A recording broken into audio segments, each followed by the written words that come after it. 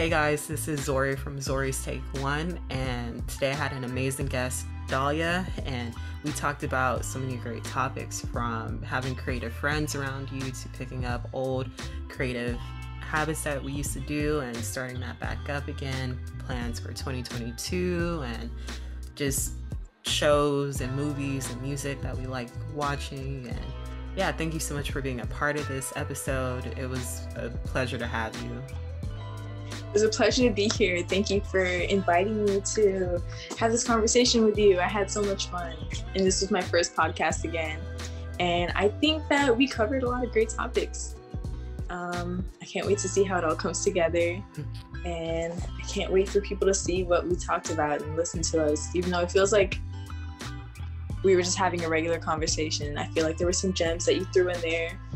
Um, and we were able to come up with something great. Yeah, definitely. So, so thank you. Yeah, of course. Thank you so much. And, you know, guys, grab some food or whatever to relax and listen to our conversation because it, it's a good one. so, um, yeah, stay tuned for this episode and many more coming. And thanks again, Dahlia. Thank you. Bye, Zorrie. Bye, Dahlia.